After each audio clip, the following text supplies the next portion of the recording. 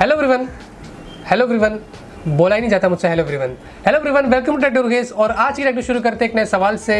आज मैं जो इवेंट में गया था यू टीवी के जो वी यू से स्टार्ट होता है, ये इवेंट में मुझे बिल्कुल भी मज़ा ही नहीं आया। हालाँकि जो होगा टीवी अच्छे ही हो गए, मैंने कभी चेक मैंने तो चेक नहीं किया तो फेयर फेयर आपको ओपिनियन दे रहा हूँ।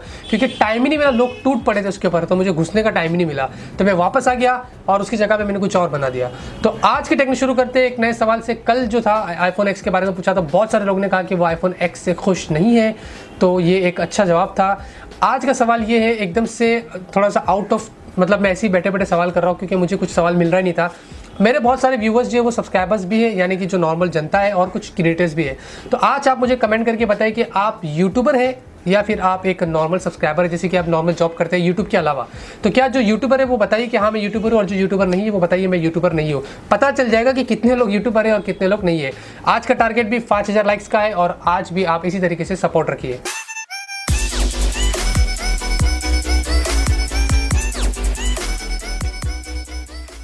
तो पहले खबर की बात करें तो आप लोगों को बता रहे थे कि आईफोन X, आईफोन 8 और आईफोन 8 प्लस ये स्मार्टफ़ोन बहुत जल्दी जो वो लॉन्च होने वाले हैं और ये सारे जो स्मार्टफ़ोन इसके अंदर आपको फास्ट चार्जिंग का सपोर्ट भी जो वो मिल रहा है। अब जो भी स्मार्टफ़ोन आईफोन के अलावा भी आते हैं मार्केट के अंदर इन सभी में भी स्मार्ट फास्ट चार्जिंग का सपोर्ट मिलता है लेकिन सबके साथ में आपको बंडल एक्सेसरीज मिलती है जिससे आप अपने मोबाइल को फास्ट चार्ज कर सकते हैं। अब यहाँ पे एप्पल ने एक ऐसा कैच रखा है अगर आपको आपके आईफोन एक्स या आईफोन एट या आईफोन एट प्लस को फास्ट चार्ज करना है आपको उसके लिए पाँच हज़ार और ज़्यादा जो वो देने पड़ेंगे। जी हाँ यहाँ पे इनका खुद का एक यूएसबी टाइप सी केबल अलग से आपको लेना पड़ेगा, जो इनके यूएसबी टाइप सी पावर वाले केबल को पावर्ड करेगा। और ये एक्सेसरीज जो आपको टोटल आएगी वो पाँच हज़ार रुपये की आएगी। तो अगर आप ये बंडल एक्सेसरीज अलग से परचेस करते हैं तो ही आप अपने आईफोन एक्स आईफोन एट या आईफोन एट प्लस को जो फास्ट चार्ज कर सकते हैं। Eighty nine thousand rupees plus five thousand जो इंडियन मार्केट की प्राइस उसकी बात कर रहा हूँ, हो गया कितना? नाइन्टी फोर थाउज़ेंड शायद।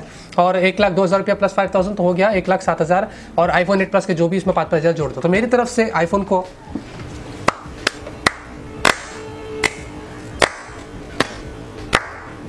तो फाइनली यहाँ पे Asus ने अपने जेनफोन 4 के स्मार्टफ़ोन जो इंडिया के अंदर लॉन्च कर दिया है, और ये जो जेनफोन 4 वाले स्मार्टफ़ोन है, यहाँ पे सिर्फ़ सेल्फी एडिशन लॉन्च किया जेनफोन 4 सेल्फी वहाँ पे दो वेरिएंट मिलते हैं, और एक आपको Zenfone 4 सेल्फी प्रो करके भी एक एडिशन मिलता है।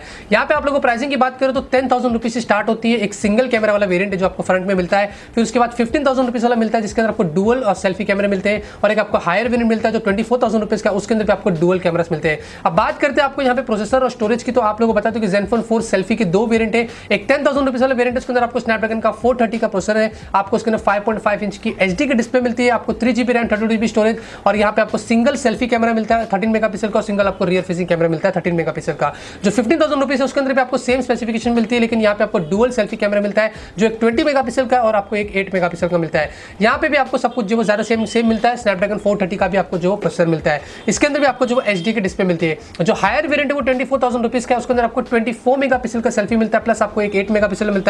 ये डुअल सेल्फी हो जाता है, आपको सिक्सटीन का रियर फेसिंग मिलता है, आपको यहाँ पे जो स्नैपड्रैगन का 620 का प्रोसेसर मिलता है 625 का प्रोसेसर मिलता है, और आपको इसके अंदर 5.5 इंच की फुल एचडी की डिस्प्ले मिलती है। 3000 थाउज़ेंड की बैटरी यानी कि ये जो स्मार्टफ़ोन उन्होंने लॉन्च किया है, अपने प्राइसिंग के हिसाब से अगर हम वीवो और ओप्पो से कंपेयर करते हैं तो बेस्ट है।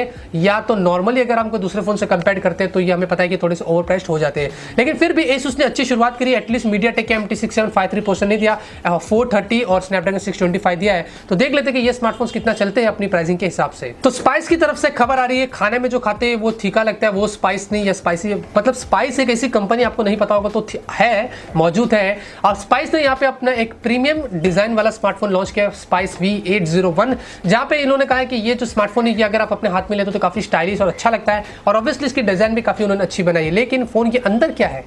बात तो अच्छी होती है कि सामने दिखाने के लिए काफ़ी अच्छी चीज़ होती है, लेकिन अंदर क्या है? फ़ोन के अंदर आपको unknown code core one point two वाला प्रोसेसर मिलता है। एट थाउज़ेंड रुपीज़ की इसकी प्राइस जो अच्छी रखी है, एक प्रीमियम आपको डिज़ाइन मिल रही है। बाकी का आपको सिक्सटीन जीबी की स्टोरेज थ्री की रैम एट का रियर शायद फाइव का selfie two thousand seven hundred की बैटरी है, और फाइव इंच की आपको एचडी की डिस्प्ले मिलती है। आई एम स्पीचलेस फिर से ब्रेक है और आईफोन के लिए।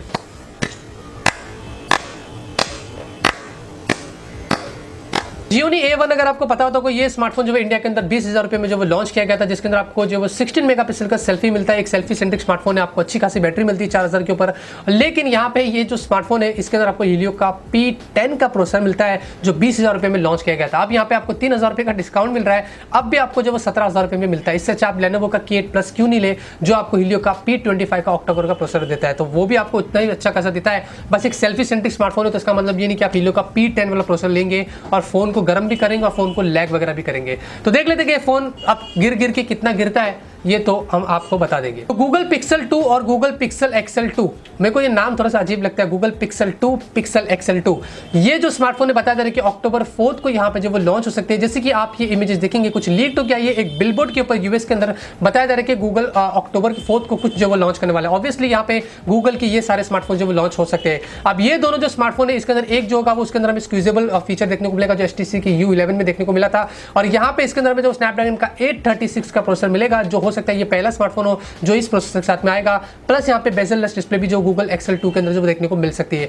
बहुत रूमर्स और लीक इससे रिलेटेड आ रही थी। देख लेते कि गूगल इसको कब लॉन्च करता है और फाइनली इसकी प्राइसिंग यहाँ पे जो क्या होती है। और साथ में यहाँ पे गूगल की तरफ़ से एक और खबर आ रही है और जा रहा है कि गूगल इंडिया के अंदर अपना एक यूपीआई पेमेंट एप्लीकेशन जो वो लॉन्च करने वाला है। हम सभी लोगों को पता है कि काफ़ी सारी कंपनी जो वो UPI based payment application launch कर चुके हैं। लेकिन Google Android Pay application US के अंदर दो साल पहले लॉन्च कर चुका था, लेकिन अब यहाँ पे इंडिया के अंदर गूगल तेज के नाम से एक एप्लीकेशन लॉन्च करेगा। अब तेज का मतलब ये है कि फास्ट यानी कि ये एप्लीकेशन कुछ ज़्यादा ही फास्ट होगा और बहुत ही जल, जल्दी जल्दी नहीं जल्दी आप अपने ऑन द गो जो वो पेमेंट वगैरह जो वो कर सकते हैं। तो गूगल तेज इंडिया के अंदर बहुत जल्दी जो वो लॉन्च होने वाला है और गूगल भी इसकी गाड़ी में चढ़ चुका है जहाँ पे काफ़ी सारी कंपनीज़ भी हमें जो वो इस तरीके के पेमेंट फीचर दे रही है। देख लेते कि ये कितना जल्दी जो वो आता है। तो नोकिया की तरफ़ से खबर आ रही है। जी हाँ नोकिया की तरफ़ से फिर से खबर आ रही है। बताया जा रहा है कि नोकिया टू अब जो वो एफ़ सर्टिफिकेशन पे जो वो लीक टू आया और बताया जा रहा है कि नोकिया का एक जो ऐसा वेरियंट आएगा जिसके अंदर आपको फोर थाउज़ेंड की जो वो बैटरी देखने को मिलेगी। अब ये बात ठीक है अच्छी बात है। एक बजट कैटेगरी का फोर जी वोल्टी स्मार्टफ़ोन होगा जिसके अंदर रूमर है कि स्नैपड्रैगन का टू टेन का प्रोसेसर होगा। तो क्या करेंगे टू टेन का यार? बहुत ही मतलब एटलीस्ट फोर ट्वेंटी फाइव भी दे रहे तो, तो अच्छी बात होती है स्नैपड्रैगन टू टेन निकल चुका वो जमाने के अंदर। और साथ में नोकिया नाइन की बात करें तो नोकिया नाइन भी कुछ ऐसे ही आएगा डुअल रियल कैमरा के साथ में सेम नोकिया एट जैसा होगा लेकिन इस बार हमें bezelless display infinity type display वाला जो वो कुछ फीचर देखने को मिलेगा। तो पहले ही दे रहे थे नोकिया एट में इतनी मेहनत करने की ज़रूरत क्या थी? तो देख लेते हैं कि नोकिया के स्मार्टफोन्स हमारे लिए फिर से क्या लेके आते हैं। फिर से आईफोन के लिए।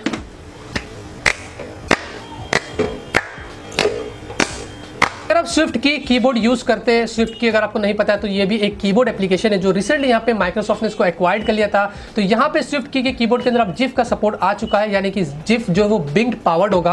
अब आप यहाँ पे आपको कीबोर्ड के अंदर एक जिफ का टैब मिलेगा, जहाँ पे आप क्लिक करेंगे तो आपको बिंग जो है वो ब्राउज़र ओपन होता है। उसके अंदर ही आपको जो सारे के सारे जिफ इमेजेस मिलते हैं और डायरेक्टली आप कीबोर्ड के ज़रिए ही जिफ इमेजेस वगैरह जो वो सेंड कर सकते हैं। आपको यहाँ पे कोई थर्ड पार्टी एप्लीकेशन इंस्टॉल करने की ज़रूरत नहीं पड़ती है। तो स्विफ्ट कीबोर्ड अगर आप नहीं यूज़ करते हैं तो आप यूज़ करिए, काफ़ी अच्छा है, लेकिन बहुत ही लैग वगैरह भी होता है कभी कभी आपका फ़ोन अगर आप यूज़ करते हैं तो जल्दी से चाहिए और इसको जो है अपडेट कर लीजिए। तो आज की टेक्निक्स पे खत्म होती है। उम्मीद करता हूँ आपको आज की टेक्निक्स पसंद आएगी। अगर आपको पसंद आती है तो ज़रूर से इस वीडियो को लाइक करिए। मैं से आप लोग के लिए डेली टेक्निक्स आता रहूँगा। आप लोग को ऐसे ही अपडेट करता रहूँगा। मिलते हैं आपसे वीडियो में एक नए वीडियो के साथ। Till great day and always keep smiling मैं बहुत पका रहा हूँ, मैं जानता हूँ, लेकिन एक बार, सिर्फ़ एक बार एक बार आईफोन के लिए।